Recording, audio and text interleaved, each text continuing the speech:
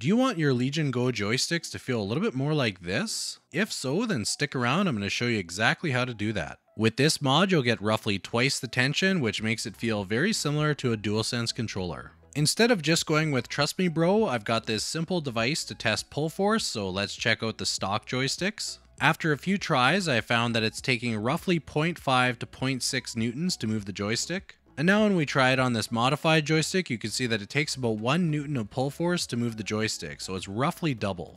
A few important notes and disclaimers, if you're not comfortable with taking apart devices, this is going to be a very difficult mod for you. So of course, do this mod at your own discretion if you choose to, but be warned that it is not necessarily an easy mod. If you do decide to modify your joysticks and use this video as a guide, I recommend watching the video in its entirety because I do move fairly quickly, but there's a number of important notes that are throughout the entire video. I do recommend that you have a good tool set if you're going to take on this mod. If you don't have good tools, it's going to be even more difficult than it already is.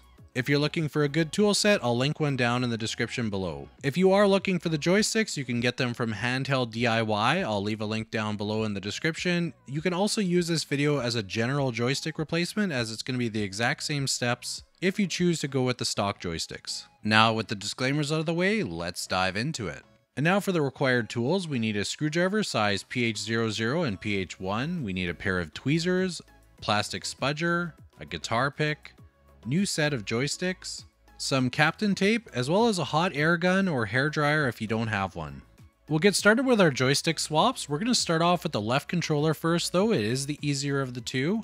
And the first thing that we need to do is to pull off the joystick cap. If you've never taken this off before, it's going to be a little bit tighter than you expect, but don't worry, it is fine to pull it a little bit harder to get it off. And now that it's off, we can go ahead and take the screws off. For the rear cover, we have four screws and those are our PH00. Make sure that you use the right screwdriver head, because if you use the wrong one, there's a chance that you might strip them. Once you've ensured that you have the correct screwdriver, you can take out the four screws. They come out fairly easily. This is what the screw looks like for your reference.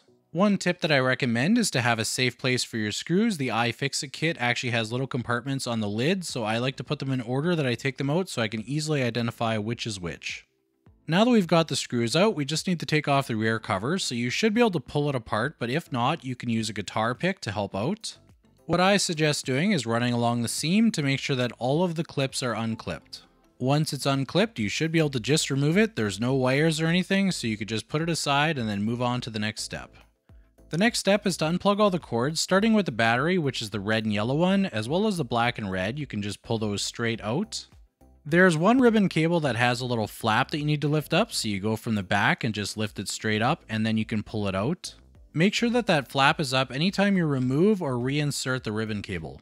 The third kind of clip that you need to deal with is one that pushes straight down, so you need to pull it up. It's easiest to go from both sides to make sure that you lift it up evenly. For all of these clips that are hard to access, I do strongly recommend using a plastic spudger because you should be able to get in there with the pointy tip and just slowly pry at it without damaging anything.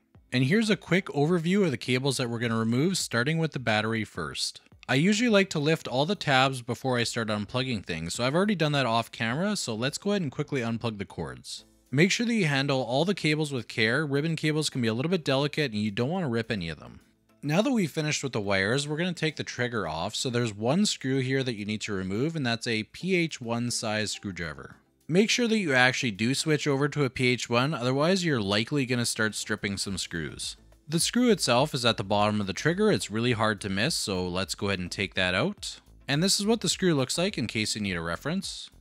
And now to take off the trigger cover, we just need to compress the trigger and then slide it upwards. There's two little grooves that slide onto the trigger itself. And these just slide onto this part of the trigger that's kind of flat at the back here that goes straight across. That's where you're going to connect onto when you reassemble. Next, we need to disconnect the left bumper. This is required to actually lift the board. So what you need to do is take a plastic spudger and pry back on a little plastic clip to release it. So this is something that uh, you have to be kind of careful that you don't break it because you don't want to apply too much pressure.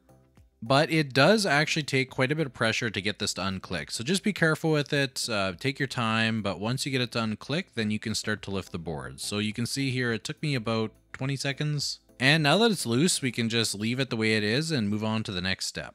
Next, we're going to remove three screws that are holding the plastic board cover down. These are PH1 size screws, so make sure that you have the correct screwdriver.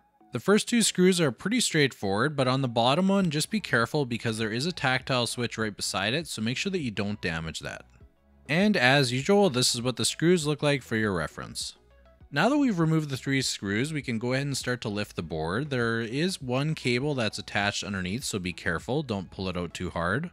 Also be on the lookout for any cables that may have got stuck, don't pull this out too quickly. Taking a look at the cable that's still attached, there is a little flap that you have to lift up, and this cable is a little different than some of the other ones. You don't pull it straight out, it actually has two little wings, I'll call them. It's more of a cable that you place into the slot and then close the flap. Now that we've got the cable detached, we can go ahead and put the front of the controller away because we're not going to need that right now and we can focus on getting the joystick off. Now we can begin to remove the joystick, so the first thing that we need to do is remove the dust cover, so you just need to grip onto it hard and pull straight out, and it should come off without too much struggle. Next we need to remove the protective sticker that's around the joystick here, you can grab a pair of tweezers and just pull it up and then just set it aside. We're going to put it back on when we're done. And now we have two screws to take off on the joystick. So these are both PH00 size, so make sure that you have the right bit. Otherwise, you're probably just going to damage the screw. And as usual, here's what the screw looks like for your reference. Now we can remove the last two screws on the board. These are going to require the PH1 size screwdriver. Once you take out these two screws, you're going to be able to lift the board off of the cover, and this is what the screw looks like. Now that you've removed the screws, you can go ahead and lift the board. Just make sure that you don't have any ribbon cables that are stuck, so make sure that you don't pull it out without double checking that. You'll find that the joystick is dangling, but we're going to remove this very soon, so just make sure to separate it from the plastic cover, and then we can worry about the joystick. Now to remove the joystick, we have to lift up the tab on this ribbon cable here, just to make sure that we can pull it out, and once you have the tab out, it should pull straight out. If you're curious, move around the joystick, feel the tension of the stock joystick, and then grab your replacement joystick and then test that one out. You're going to see that there's quite a dramatic difference in the tension. Now we're going to begin with the reassembly. So we're going to take our new joystick, we're going to lift the tab up and we need to plug in the ribbon cable. I usually push it in with my finger, but if you're having trouble with that, you can also grab a pair of tweezers and use that to help it go in. I've done this so many times that I only use it really when it's a tight spot. Once you insert the ribbon cable, make sure that you pull the tab back on the locking mechanism so that it locks the cable in place and give it a slight tug just to make sure that it's actually secure. You'll need to feed this ribbon cable through this hole in the plastic cover. Just make sure that you have it on the right side of the board. You'll need to make sure that it's gone behind this board so that it can plug in correctly. Now we're going to line up the board and we're going to put in our first couple of screws. For both of these screws, you're going to use your PH1 size screwdriver and make sure that you tighten it firmly. Now we're going to finish attaching the joystick. We have two screws that are PH00 size and they're quite tiny. Make sure that you have the proper screwdriver head in and then once you're done the screws, you can go ahead and put that plastic ring sticker back on. After the ring sticker, we're going to go ahead and put the dust cap back on, so make sure that you line it up properly and then just apply pressure to push it in. Then just give it a test and make sure that it spins freely. We'll start off first with the ribbon cable, but we need to attach the board to the front shell. So taking a look at the front shell, there's a single ribbon cable that's more of a place in style is the best way I could describe it.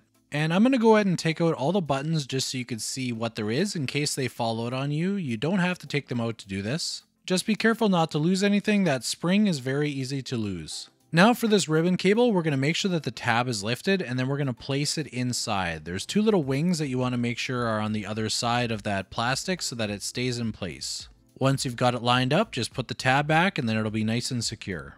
If your buttons were removed, now would be the time to put them back in, so make sure you have the D-pad and the three buttons. After you're done putting the buttons in, make sure that you put the spring back into place. It's in that little rectangle box right in the center, and then take this button here and make sure that the hook is on the top and click it in. We're going to be adjusting that again later, but it's just to keep it in place for now. Next, we can attach the board to the front cover, make sure that the buttons do not fall out and that you don't have any cables stuck underneath.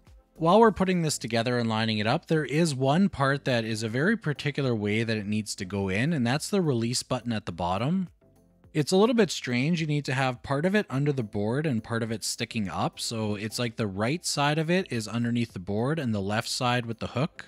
It's a little bit difficult to demo here what I mean, but you can see the little hook at the top. I have it sitting on top of the plastic. And then the right side of it at the back needs to get tucked in underneath the board. So it's almost like you have it at an angle when you're putting it in.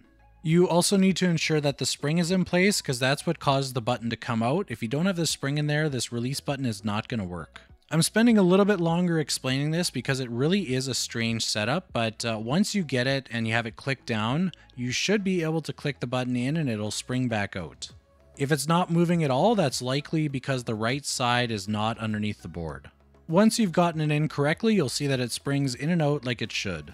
And if you've done everything correctly, the rail on the side will be completely flush to the shell. Now we'll screw the board down to the shell, so there's three screws that use a PH1 size screwdriver, and this is what the screws look like in case you're wondering. And just like we mentioned on the disassembly, the first two screws are fairly straightforward, but the one at the bottom here has the tactile switch, make sure that you do not damage it. I found that I had to screw it in at a slight angle. Our next step is to add the shoulder button, so just like before, we need to pry that little arm away so that we could fit it in there. So pull that away and then we're going to try to tuck it inside. And it should click into place. You might need to play with this for a little bit to get it in there, but once you get it, then uh, it should be pretty obvious because it'll be nice and tight. And once you think you have it in, just test out the button to make sure that it feels all right. You know, click it in, make sure that there's no movement because this is going to need to be in place to close the controller. Now we're going to reattach the trigger. This is what the screw looks like that we're going to put in. You're going to need a PH1 size screwdriver. What we're going to do is we're going to slide it onto this back piece and there's two little grooves that you have to line up if you remember from earlier. So what we need to do is we need to press down the trigger and then you can slide it straight on. Now we're going to switch to our PH1 screwdriver and what you need to make sure that you do is put the screw in nice and tight. If you don't, there's going to be some movement in the trigger.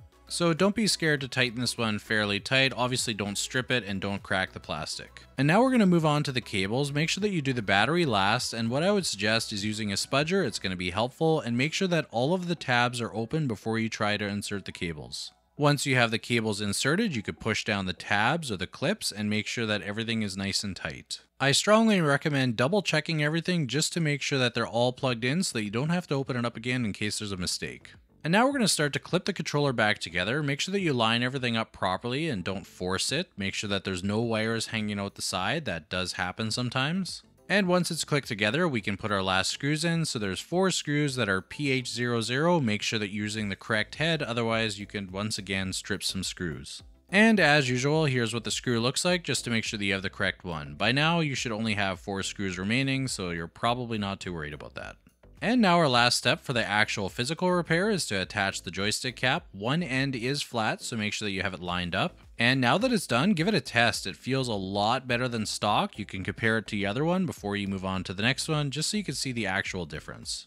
And that's how you do the left controller. So we're going to move on to the right controller next. Now we're going to move on to our right controllers. So we have the bottom mouse sensor and the sticker that we have to contend with on this side. We also have a trackpad at the front and at the back we also have a scroll wheel. So we have a few extra things to worry about while we take this apart. Now we'll start off by taking off the screws. There's four screws that are PH00 size. They come out fairly easily and this is what the screws look like just in case you're wondering.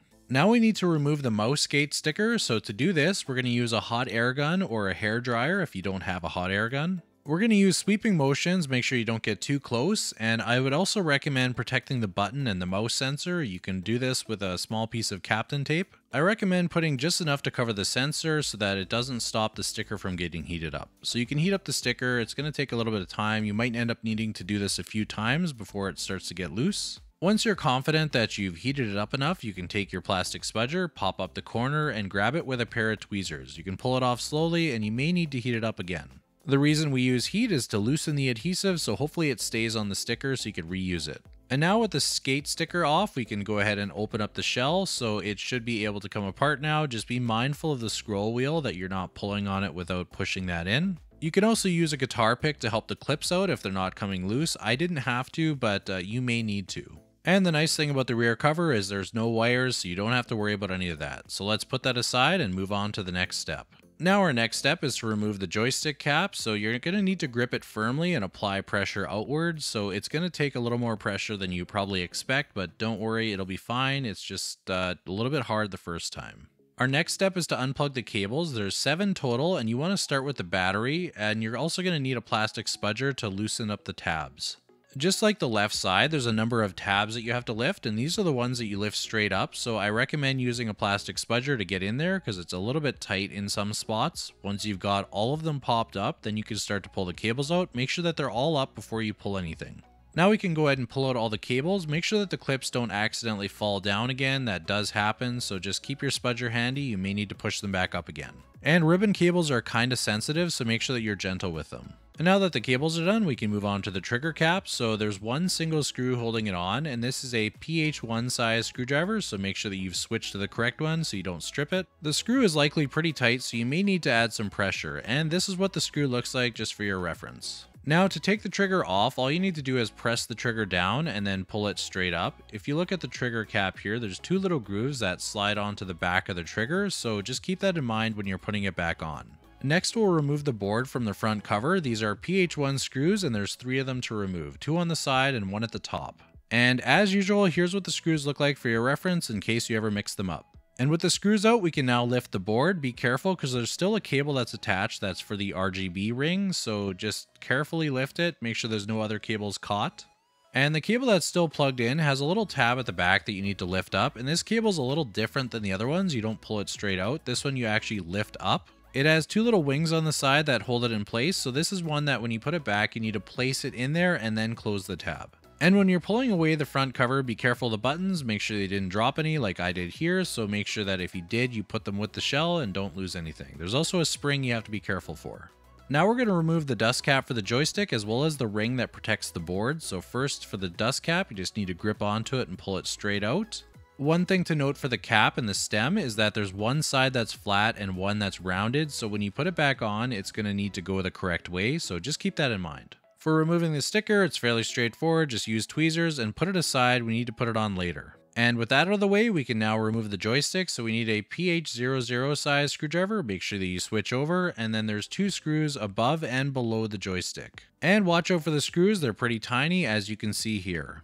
Our next step is to remove two screws from the corners of the board. It is a PH1 size, so make sure that you switch over. I'm sure by now you've realized that we switch screwdrivers pretty much every couple steps, so let's take these two out, make sure you have the right bit, and for your reference, this is what they look like, in case you get it mixed up. Now you can lift the board off of the plastic cover, make sure that no cables are stuck. In my case, there actually was one that was stuck, I guess it kind of fell back in, so make sure that that's not the case on yours. And if it is, make sure to remove it first so you don't damage it. And once you've ensured that there's no other cables stuck, you can put the plastic part aside. And then our next step is going to be to actually remove our joystick and replace it with a new one. Now for the last step of removing the joystick module, you just need to lift up the plastic tab and then you can pull out the cable. It should come fairly easily. And once you've got it out, we can go ahead and replace this with our new one. I put a red dot on mine to identify it so you can see that it's a fresh module.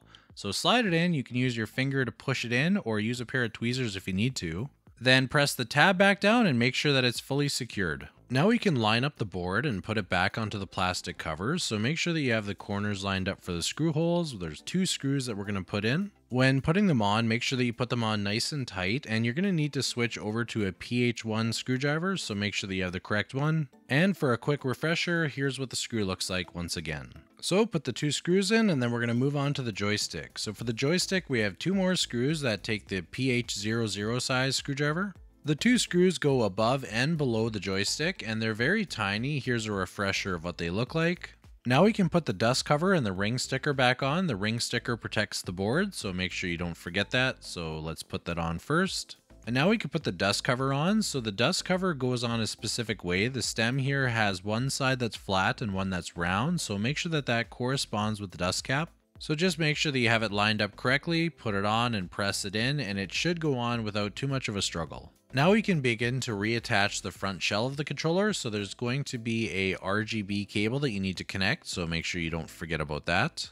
A quick reminder that this cable is different than the rest of them. So this one you place into the slot rather than pushing it in. So you just place it in, make sure that the two wings are inside, and then you can just close the tab. Then make sure that the cable is secure and then you can start to put the two back together. Make sure that everything lines up and that there's no cables that are getting pinched. Just make sure to line it up mostly because there's one more step we need to do before we screw it down and that's for that release button. For the release button, the first thing is to make sure that your spring is handy and make sure to put it in this little slot at the bottom. It's like a little rectangle and in the middle there's a little stem that sticks out, so put it on top of that. Once you've made sure that it's in the right spot, you can grab your button, make sure that the hook is at the top, and when you put it in, make sure that the hook is, I guess, at the top layer, and you actually need to get the left side of the button to be underneath the board. So once it's in, it's kind of like it's at an angle, and once you have it down, you should have a springy button again. If it's not springy, either the spring isn't lined up properly or maybe the button is getting caught somewhere. And once you're sure that it's lined up, we can move on to screwing in the board. So there's three screws that use a PH1 style screwdriver. This is what the screw looks like as a reminder. I also recommend that you make sure no cables are getting pinched or underneath. And now we can go ahead and add the trigger cap back on. So to do this, you need to make sure that those two grooves line up on the back here. And when you're sliding it on, you need to push the trigger down and then press it in. Once the cap is on, we're going to use this one screw that requires a PH1 screwdriver. And what I recommend is to make sure that you tighten this quite tight. The first time I did this, I didn't do it tight enough and there was a bit of a wobble. So make sure that you screw it in nice and tight. And once you've got the triggers secured, we can move on to the cables. So the last cable to plug in is the battery, but we've got seven to reattach.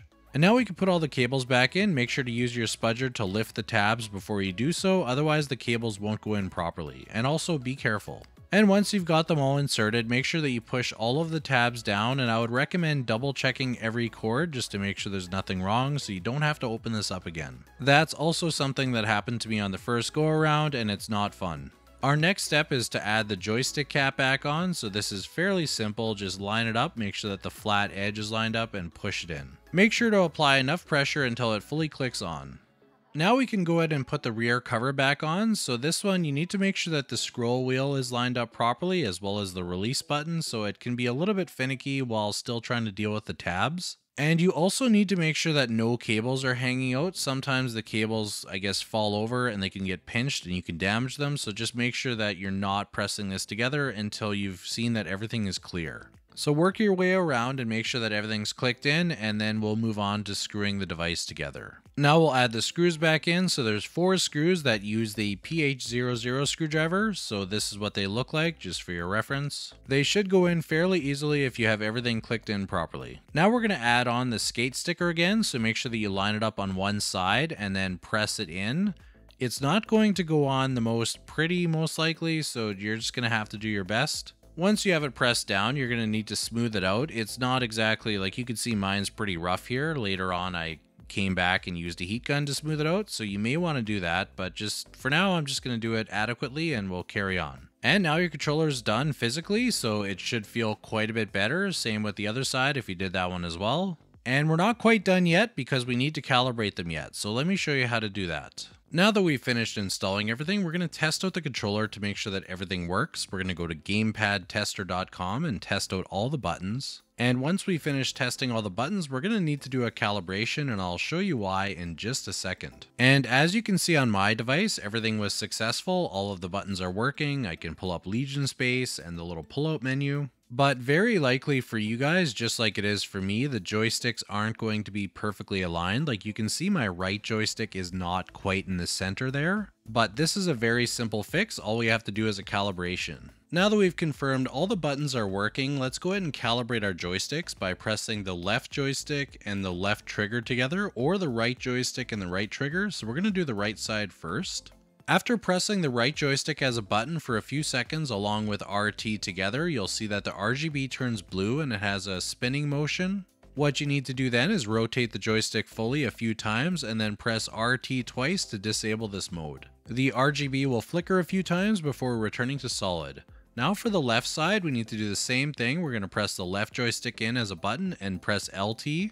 After a few seconds, you're going to see that the RGB is going to turn blue just like it did on the right side, so rotate your joystick a few times and then just tap LT twice. If the RGB starts to flicker like it did on mine and it didn't seem to disable, just press the LT button twice again. It seems like it didn't take on mine, so that may happen for you. And one quick note, if you're having trouble entering this mode, I had this on a second controller where it just would not enter the calibration mode, just press this reset pin you can use something like a paperclip to press it and then it'll reset the controller. Even after resetting the controller, sometimes it's stubborn and doesn't want to enter the calibration mode. I had one controller that I did that it took 25 times before it entered calibration. If you have that issue, you can also open Legion Space, go to the controller settings and adjust something that sometimes can kick it out of being stuck. Assuming you were able to successfully calibrate your joysticks, I recommend going back to gamepadtester.com and testing the circularity. You should find now that the joystick is perfectly centered and you should get roughly a 2% error. This is the same average error that you get with the stock joystick, so that means that everything worked. If not, go ahead and run the calibration one more time. Now that you've finished the mod, you can enjoy your nice tight joysticks. I recommend trying out a first person shooter,